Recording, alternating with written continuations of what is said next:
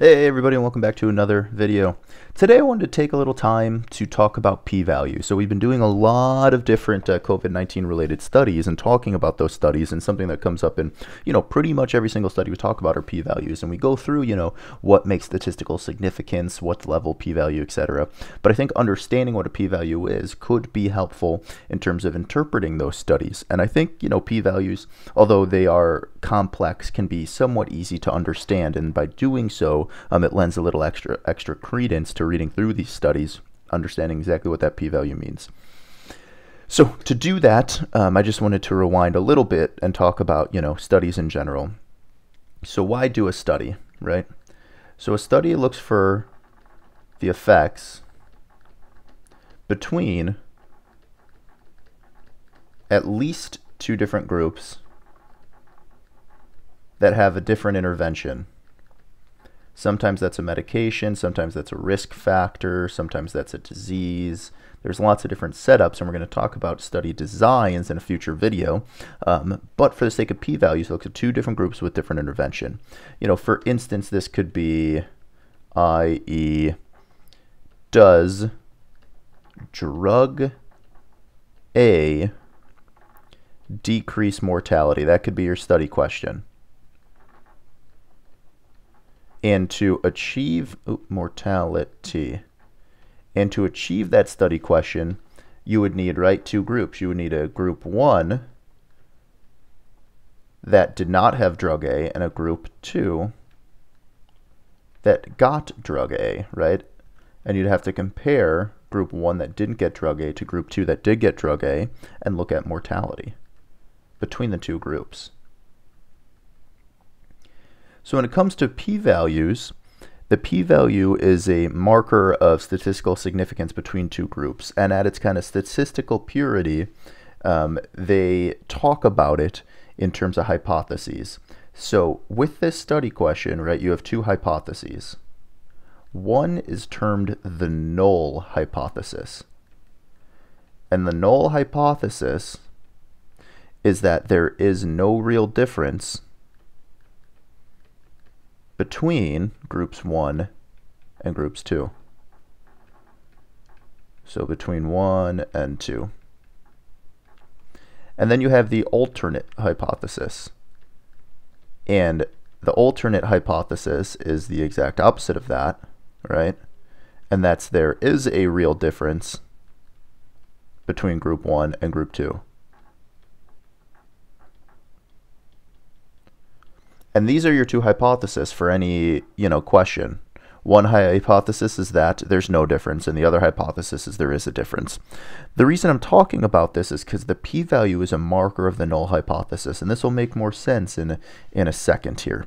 But with this study question, does drug A decrease mortality, we have our two groups. Now let's say at the end of the study, group 1, right, this was the group that did not get drug A has an 8% mortality. And then group 2 that did get drug A has a 6% mortality. The question here is, is drug A responsible for that decreased mortality or is this just random chance? Right? Is it just randomly group 2 has a somewhat smaller mortality than group 1?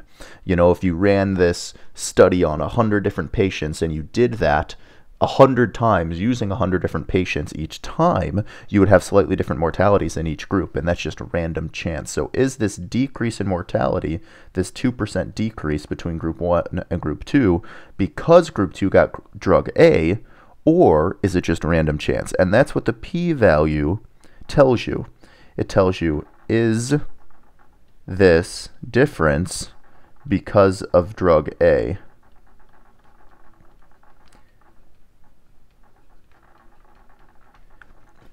So the null hypothesis comes in because the p-value tells you the percent chance,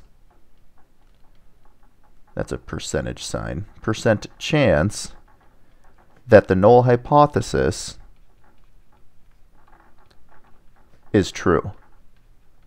And that this difference is just simply chance. So what does this look like? So let's say for this study comparing, you know, these two groups and group 2 got drug A. Let's say they compare these two groups and the p-value was 0.08. What this actually means is that there's an 8% chance that this difference is random, aka that the null hypothesis is true.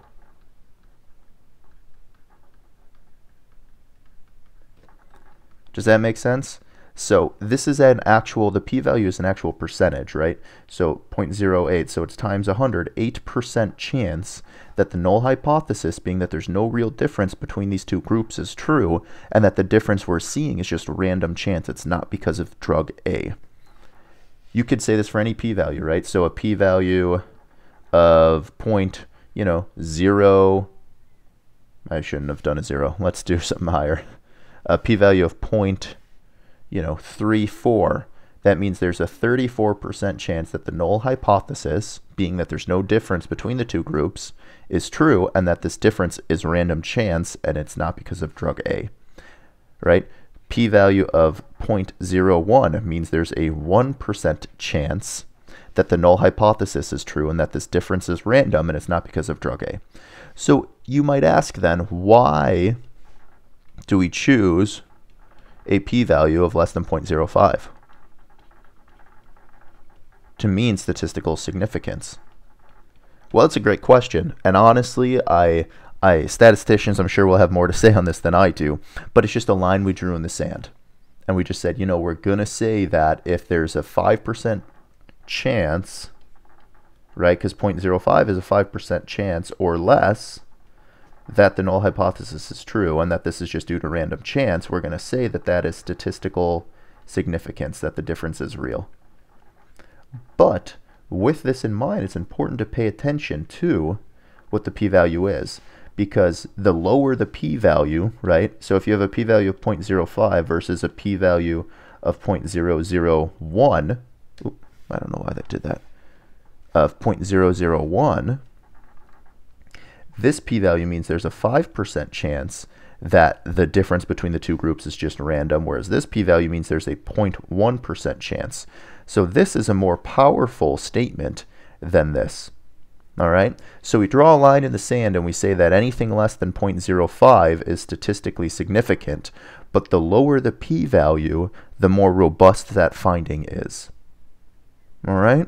So I hope that makes sense. Let us know what questions you have in the comments below. I just wanted to put out a quick video because we've been talking so much about p-values, and hopefully this provides you a little more context and helps you understand these studies a little better than me just uh, blabbering on about p-values in the middle of the video. All right, thanks for watching. Hit subscribe, follow along if you feel inclined, and we'll see you all next time.